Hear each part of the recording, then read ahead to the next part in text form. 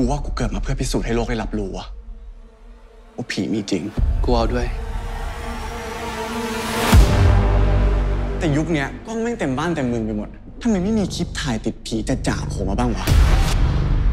ถ้าเราตั้งสมมติฐานว่าผีคือปรากฏการณ์ธรรมชาติอะ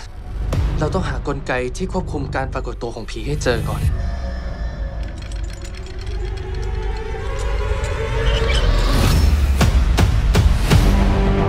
วพวกเราแม่งจะหลอนกันไปเองหลอนเห็นภาพเดียวกันเป๊ะเนี่ยนะ พี่เป็นหมอ พี่ไม่น่าจะเชื่อเรื่องแบบนี้หรือเปล่าคะ เขาอาจจะวนเวียนอยู่รอบๆพวกเราก็ได้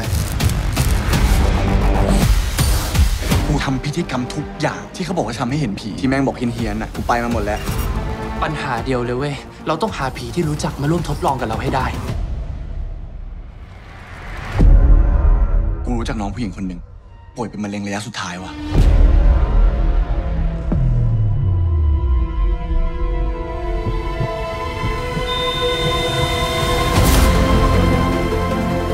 คุณไม่ใช่นักวิทยาศาสตร์แบบที่คุณคิด หน้าที่มึงอะคือช่วยชีวิตคน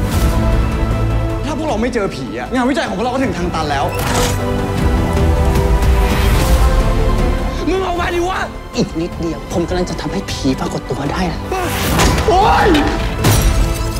ประตูความลับจักรวาลแม่งเปิดขึ้นต่อหน้าพวกเราแล้วเว้ย ความอยากรู้ของกูมันหยุดไม่ได้แล้ววะ กูไม่หยุด